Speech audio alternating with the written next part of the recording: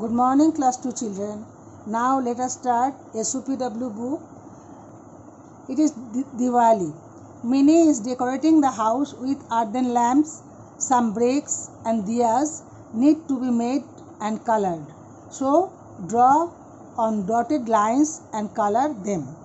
Dotted lines you draw that one nicely like that.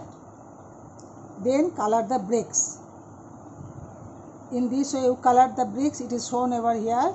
Then diyas diyas half join it then make one diya join then make one diya then you color it. Multicolor also you can use it. Now go next. Paste the matchsticks on the wheel as shown and color dress of the smart cyclist. Color depends upon you.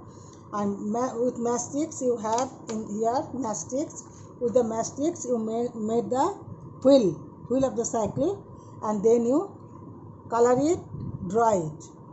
Thank you